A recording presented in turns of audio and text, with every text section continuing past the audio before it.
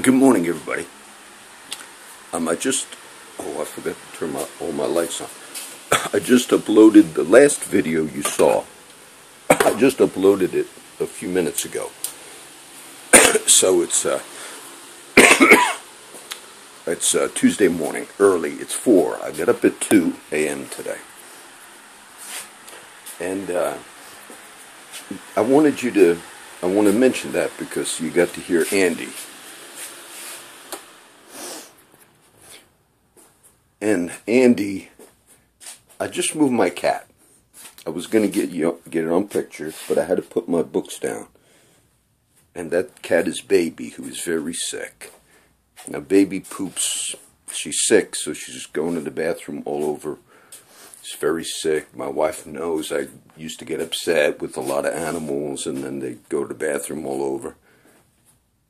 But she comes in here. She's never done this until the last couple weeks and she sneaks in this room. She sleeps right there because she's getting ready to die. And I burn incense. This is my, one of my prayer rooms. And I burn incense when I pray right there. And so she has peace right there, that sweet cat. And so my wife and them were like kids, oh, the, the baby's going to go in dad's room. And I said, no, no, I'm letting her go in there. They're like, well, don't be upset when she poofs. I said, no, I'm not. And she's so sick. She's, I'm cleaning it up all over in here. But I'm not upset because it's sad. She, her leg is twisted. She's very old and, uh, and sick. And just because age. So at that stage, you normally put them down and you feel very bad. I feel bad when that happens. So I'm letting her stay in here. But Andy, I wanted him to I'm going to see his brother David in a few hours. And uh, I just wanted him to share. There were a few things, and then I'm going to talk a little bit about. I started reading the book of Acts, so I'm going to teach a little bit. Those of you that don't like when I talk about news or politics, the teaching comes up right after that. I'm going to just mention a few things. The New York Times. The New York Times is the paper that, the newspaper that all of the other uh, news organizations pretty much get their cue from the New York Times. Whatever the New York Times is putting, especially on the front page, that's normally considered, you know, the very big news. And all the other media outlets really mostly are go off of that.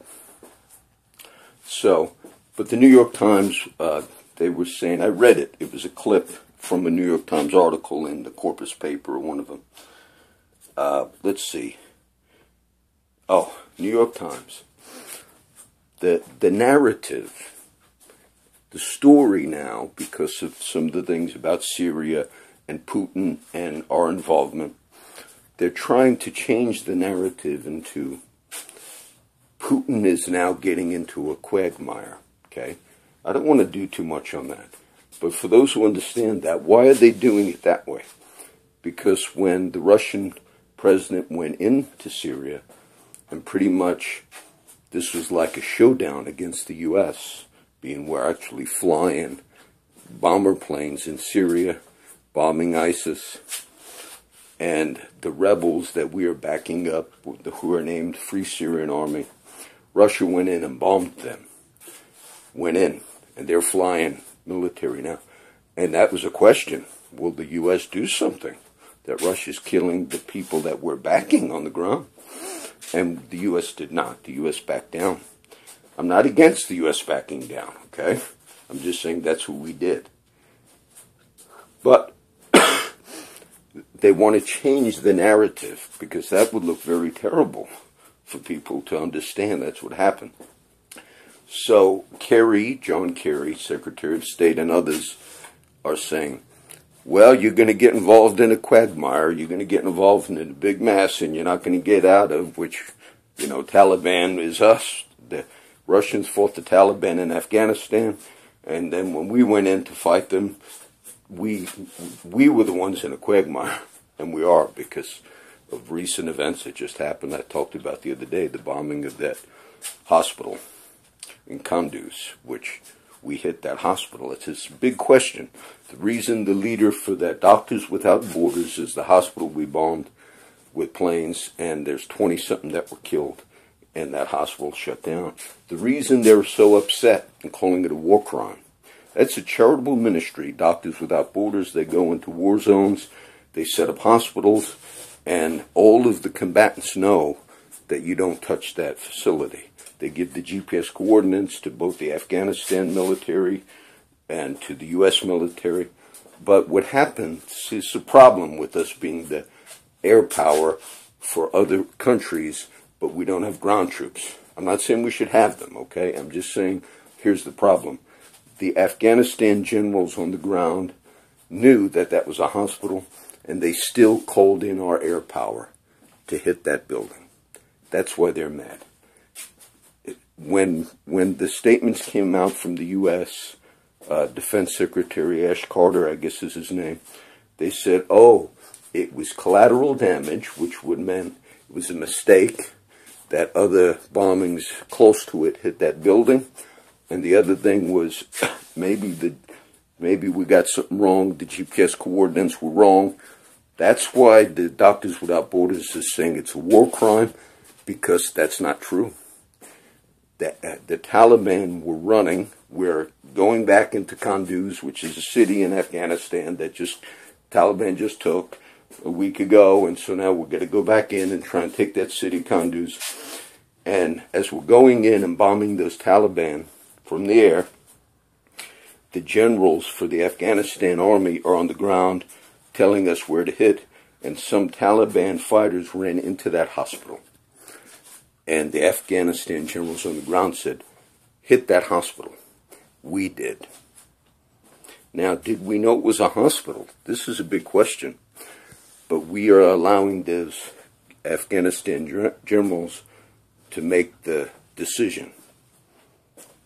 And so, Doctors Without Borders is calling it a war crime. They're saying the U.S., they're saying it is not. That's why they're mad. It was it was a decision made on the ground in Afghanistan, and those Taliban fighters ran in for refuge, is what the doctors are saying. The Doctors Without Borders, and even if they did shoot from the hospital, you don't take out the whole hospital and kill both patients and doctors and all. So, Doctors Without Borders is very mad. They're saying it's not collateral damage. It's you targeted us. You targeted us because the Taliban ran into our building. Now that's a problem. But the, the media is trying to change the narrative right now on a few things. That's one. Uh, those are the few notes. We're going to talk about Acts 1. Yesterday, uh, when I was with Andy for the day, Andy likes spending the whole day with me. And you say, why? Does, doesn't he struggle with addiction and all? Still uses? Yes. But when he's with me, he knows we're doing ministry. And he does want, he wants to get out of that cycle. Some of the other guys are in it and they don't really want to get out of the cycle. But Andy, he would have spent the whole day with me today because he knows I'm going to go see his brother. But I, I might see Pops after that. And so I said, no, today Andy, I'm going to be out of town or out of the bluff. So I wanted you, I wanted you to get the feel that everybody, but when we were coming back, I was with him all day yesterday. I was impatient with Andy two weeks ago. And because, uh, oh, I was helping him out, and then we had, a, he wanted to move things, and I was very impatient with him. A couple of things I won't mention. So yesterday, I wanted to be patient. so he had a lot of runs. Like, can you stop at the stripes? I want to fill this up. I want to eat. I get a couple tacos, John. I bought him a couple of little things, which is okay. And then as it started getting late, he said, I'm sorry, I know I'm, you know, uh, taking your time, John. I said, no, it's okay, Andy. Don't, you don't have to rush. We'll do these things today. And uh, I wanted to be patient with them. but we saw Lance because Andy had to stop and get his brother's bike that it was left at one of the stores, his bicycle. So we put it in the trunk, but I, I had to go across the street because he was going to meet me. I stopped in the middle of the road. He had to get the bike. He said, I'll meet you across the street. And I saw Lance. I've not seen Lance. Lance is one of the younger guys that is like, he was in my meetings. I baptized Lance. And one day I was walking up to Timmons. And Lance, he did this to Andy's brother when I was there one day. Lance came up to Huey one day at uh, Timmons. And he's been telling everybody he was going to get Huey and, you know. And Huey was there, had a drink in his hand, and Lance did like a drop kick. And Lance says he's an MMA fighter, and he used to be a big MMA fighter, and he, you know, he's pretty muscular, Lance. And so everybody thought maybe he is, or maybe he is, I don't know. But so he drop kicked Huey and broke the cup in his hand, and Huey was very scared. Okay? And his brother, who I saw Huey last night. And he tried to calm Lance down. And uh, so I knew that that's he's got that little thing in his head. But one day I was just walking up to Timmons from the field because I parked in HEB, and I saw I didn't really see Lance coming, but he's coming across like a grass area. He was going to do that to me. And right when he got close, I realized he was ready to like do that drop kick, and I had a coffee, and he went as he went to do that. My coffee went hot coffee it went all over him. I, I might have thrown it at that moment, but that's why. And, but Lance saw that, then I kind of flipped out a little bit. I used the F word, I'm sure, multiple times, but I was ready. You know, I was like, he could see. I was, I was just getting. If you, if people get in fights with other people, when it comes right down to the moment of where you begin hitting each other, you could see if the other person is is ready to do it or not, or they kind of chicken out at the last minute. You could always tell when you're actually ready to go for it. so Lance saw I was just realized, oh, he's trying to jump me. You know, I realized that. So I was just going to try and get one very good punch in. That's basically what you try to do. And I was right, like, looking for that right at that moment. I was like, mad, cursed, and then I was just going to try to get a really good punch. And then he saw that and he stopped.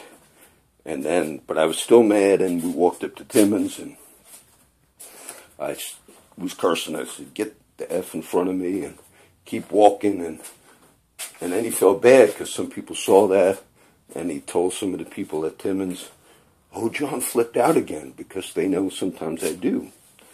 And but in this case, it wasn't me just doing that. He said, "John, he threw his coffee on me, and he was gonna." And I said, no. I told the other people, no. I said, he tried to drop kick me like he did to you. I said, I know. It wasn't me freaking out. So, and then he admitted it almost because later he came out. And, and uh, Tammy said, he asked you, please don't say nothing else about it. I said, that's all right. I said, but he's wrong. I said, he's making it sound like I tried to jump him, and that's not true.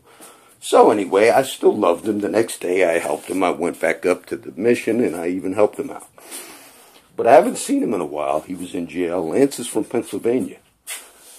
So yesterday when I was waiting for Andy, it, Lance was crossing the street and I parked across the street for Andy to get the bike. And I figured, oh, if he comes this way, I'll talk to him. So he saw me. I got out of the car. And he always looks a little like you know, uh, is John going to be this way? And I never know if they're going to be like that. I can't tell either. But as he got closer, I said, hey, kid, come here. And everything's good. I'm, we made up for that thing a long time ago.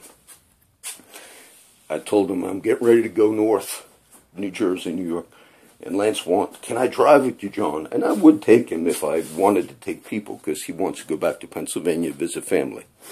I said, Lance, I'm a loner. I, when I'm in the car. Andy said the same thing. Maybe I'll go with you, John, if my the guys do want to make these trips that I make, but I would never. I would not be good with somebody else in the car. I drive straight.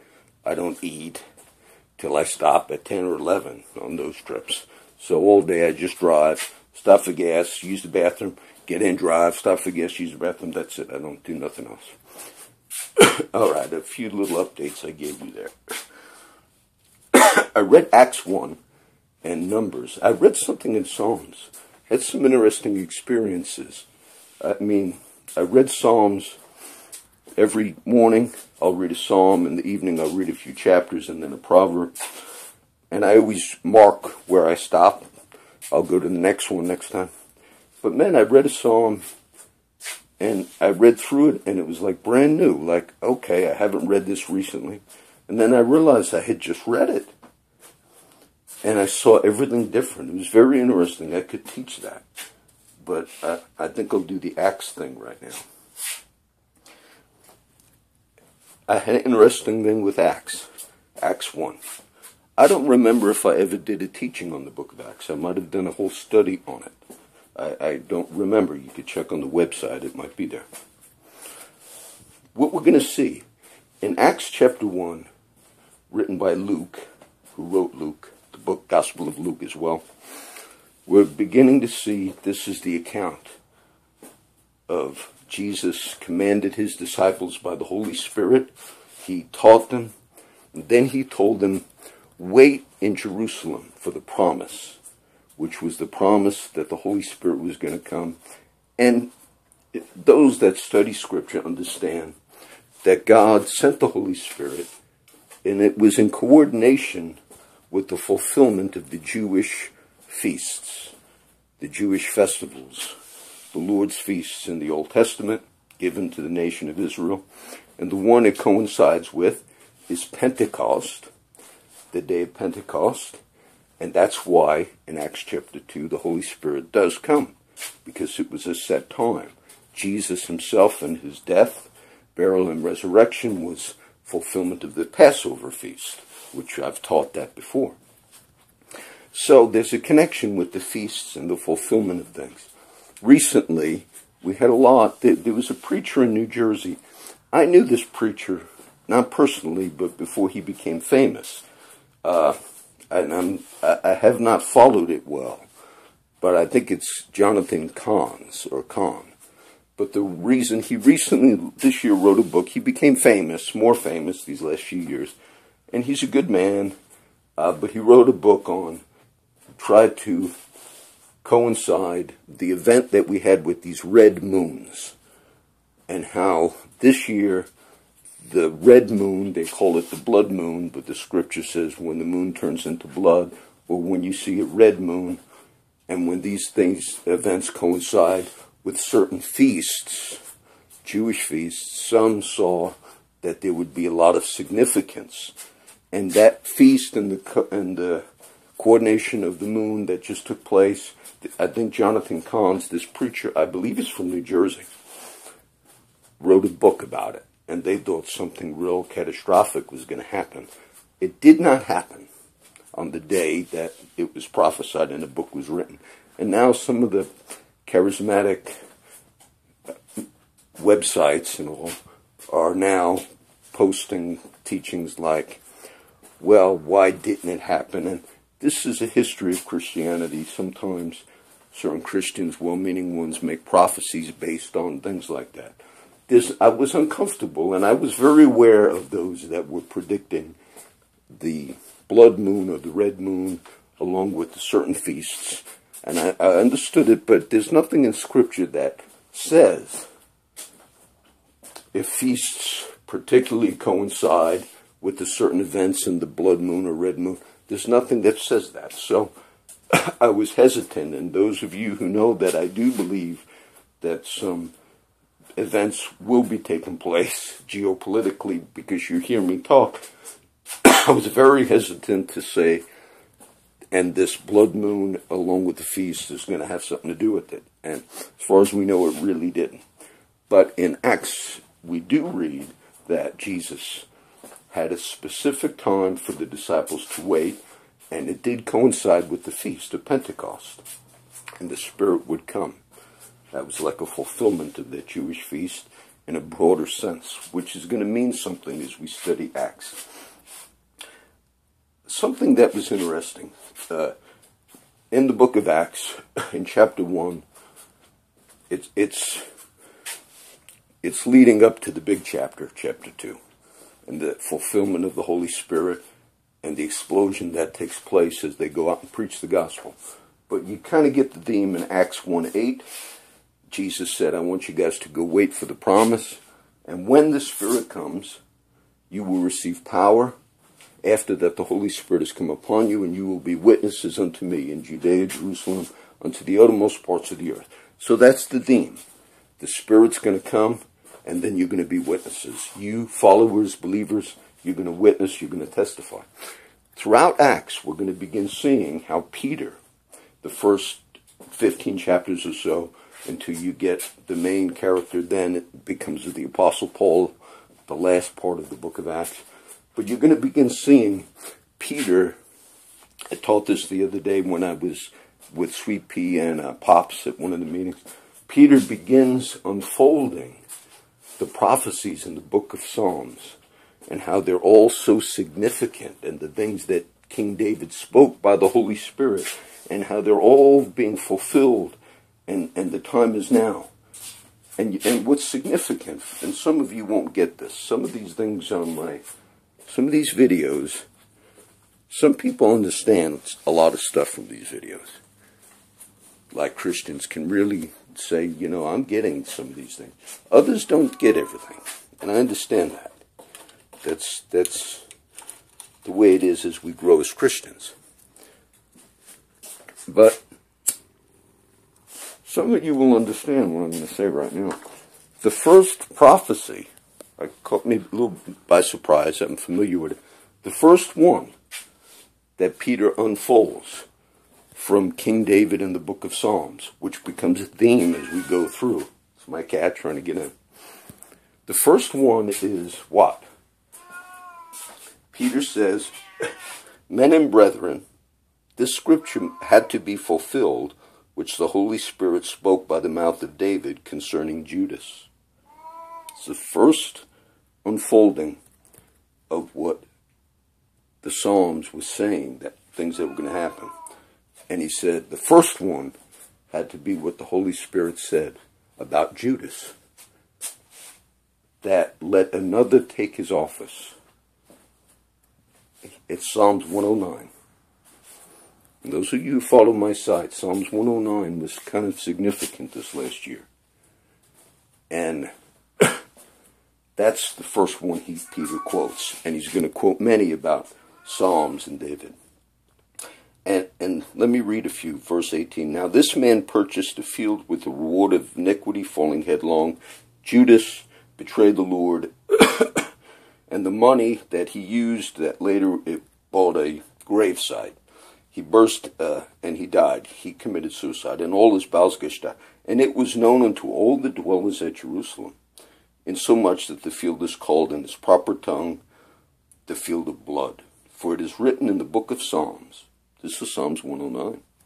First quote you get from Peter in this prophetic unveiling of the Psalms in the book of Acts. Let his habitation be desolate, and let no man dwell therein, and his office let another take and then they make a decision which one. There are two candidates that are going to fulfill Judas's place, and I found that significant because it said that was a sign. That was a sign. God, even in His judgments, He leaves signs. He leaves markers so people will remember things. And I read number 17. And number 17 the other day I mentioned from the book of Numbers how some leaders in, in the nation of Israel in the Old Testament, how they rose up against Moses and Aaron. This is a story of Korah, Dathan, and Abiram, how the earth opened up and swallowed them. I talked about that the other day. and God vindicated his leadership, Moses and Aaron, and he said, No, I did choose them and it was my will that I would use them. And number 17 is a story where right after that happened, and God said, I want you to take one stick, one rod for each family. Here's like a stick. And each stick, you're going to write the name of the tribe on the stick. And Aaron's name was written for Levi God was doing a sign. Put the sticks up before me, the tabernacle in the one that buds and blossoms. That's who I choose. and Aaron's rod budded, and God was saying, but that was a sign. It was a sign for the rebels. And the Lord said unto Moses, Bring Aaron's rod again before the testimony to be kept as a sign against the rebels, so, and take away their murmurings from me. And all the children of Israel saw it, and they understood. God, in both these cases, Acts 1, and then I jumped to Numbers the other day when I was reading, in both of them, God was saying, I also wanted the people to remember my just judgments. I wanted them to see that no, God was doing certain things. And I found it very interesting that the one psalm, the first psalm that Peter quotes as God beginning to work, is from Psalms 109, which was very significant this last year in ways that I spoke about. Meaning, God's also going to do great things because these other chapters, as we progress in the book of Acts, we're going to see great things. And I'll make one more note. It would be hard to do it all right now. But the disciples asked, Lord, in Acts 1, Lord, at this time will you restore the kingdom to Israel? And Jesus responds and says, It's not for you to know the times of the seasons that the Father uh, has in his own power. It's not for you to know the times or the seasons. Let me let me read that to you if I can pull it up again. The reason that's significant, and it would be hard to do it all right now, but the response Let's see. And when they asked of him, they asked him, saying, Lord, wilt thou at this time restore again the kingdom to Israel, or give back the kingdom to Israel? And he said unto them, It is not for you to know the times or seasons which the Father hath put in his own power, but you will receive power. well, they, the question they had there, and then we're going to end, is all of Israel, the nation itself at the time of Jesus, they were looking for a Messiah, a deliverer, but they understood primarily that he would deliver them from the oppression of Rome, who was the oppressive ruling authority over them. That was their history, which I taught a lot this last year, the intertestamental period, even Alexander the Great, Antiochus Epiphanes, uh, Judah Maccabee, the uh, the war they had which Hanukkah is to celebrate, all of that history was the Jewish people looking, someday somebody's going to come and deliver us from this political oppression we're under. So that was a big understanding that they had. so they asked him, is now, Jesus, now after all this, your death, burial, resurrection, before he's ascended, this is what he's talking to them about. Because he ascends in chapter 1. He ascends up into heaven and there are two angels. But they wanted to know whether Jesus at this time would be a politically a political king and a political figure that would rule over them as an actual king right there and as as a ruler in the actual nation of Israel. And when he says it's not for you know the times of the seasons, it also could be seen as the character of the way these things are going to be fulfilled. And this is a very long debate within Christianity. And there are many, many Christians who fight over the certain views of these things. I think what Jesus is saying, especially when you begin reading the rest of the New Testament, some say Jesus is still going to be the political king over the actual physical nation of Israel at the return of Jesus. I believe in the physical second coming. Some people do not. I do believe in the second coming. But then they see it in a way, this is a lot of end time prophecy teaching, which I'm not in agreement with a lot of it. Those of you who have watched these videos know. And some think Jesus will come back. And if it was next week, that means Netanyahu, Bibi Netanyahu is now the leader of Israel, he'd be removed. And Jesus physically himself, there'll be a restoration of the temple, that So the adherents to this view would say he can't do it until the temple's restored, but they would say that the temple will be rebuilt physically in Israel. Jesus physically, there'll be reinstitution of sacrifices and all these things, and I don't believe any of that's is going to happen, or it's not ordained of God to happen, theologically, because the sacrificial system is done. But that Jesus is going to, there'll be reinstitution of all of it, and then Jesus will actually lead a military campaign. And the things we read in Revelation about the enemies being wiped out, they're seeing Jesus as, you know, uh, there'll be the power of God doing it, but all the Arabs and Muslims are all going to be decimated and all. Now that view, not only do I feel it's not in keeping with Scripture, but it could be, that could be such a radical view that in our day and age could be very harmful. And I don't hold to that view. But some hold to it because they say here, when the disciples said, Are you at this time, 2,000 years ago, going to restore the kingdom to us? he says, It's not for you to know the times or the character the way it will take place. And the great unveiling of the New Testament is we are all now the Israel of God, Jew and Gentile. We are all now the people of God, and we are going to be the heirs of all nations because we are all the people of God that believe in Christ. So we're going to begin seeing in the book of Acts that Peter, right in the next chapter, chapter 2, when we get to it, he says the promise that God made that an heir of King David would someday sit upon the throne. Peter is not interpreting that as you're going to have a physical uh, rulership right out of the nation of Israel that will be the political rule.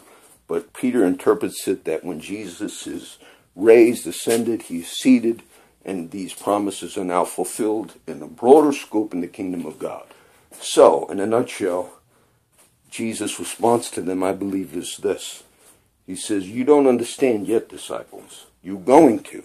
You're going to understand when Paul gets converted in Acts 9, and my spirit reveals through Paul many unfolding mysteries about the nature of, of the people of God, the Israel of God, as the new covenant community. All these wonderful things you're going to learn from my spirit speaking through Paul primarily, but all of the other prophets and teachers.